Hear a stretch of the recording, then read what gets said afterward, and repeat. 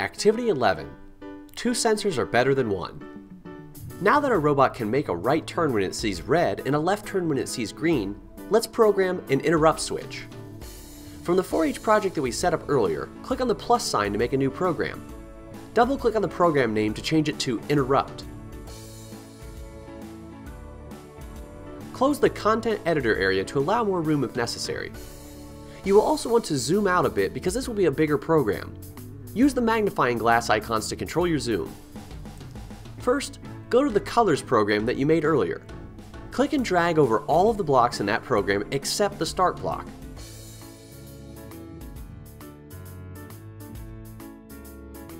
From the Edit menu, select Copy.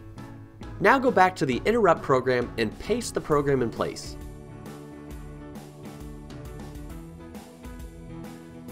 You will notice that the blocks are grayed out. Because we didn't copy the Start block from the other program, these blocks aren't active. We're going to connect these blocks using a connector wire instead of just dragging them into place. When the connector wire is hooked up properly, you will see that the blocks are no longer grayed out. To add our interrupt, we need to add a block that will wait and monitor the touch sensor. From the flow control palette, drag a wait block over the other blocks. Be sure that this block isn't connected in any way to the other blocks. If it accidentally connects, just click Undo from the Edit menu.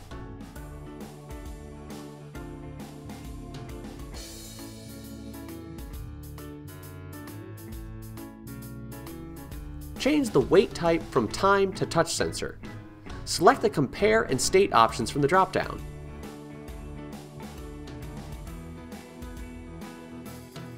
Go back to the action palette and drag a move steering block after the Wait block.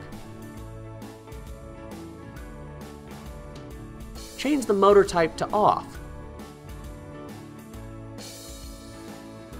Now drag up a sound block and place it after the move steering block. select the file Goodbye from the Communication folder in your LEGO sound files.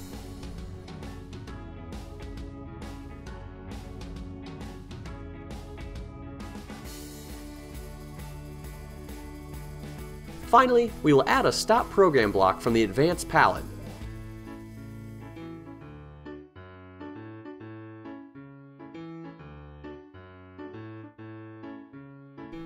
You will notice that all of these blocks are still gray, we can make them active by using a connector from the Start block. Click and drag the Start block connector to the Wait block connector. Be sure to save your work. Connect your robot to your computer and download the program. Unplug your robot and run the program.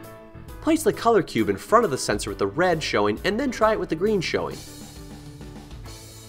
In the middle of a run, push the touch sensor down. Please read the rest of the activity and then move on to Activity 12.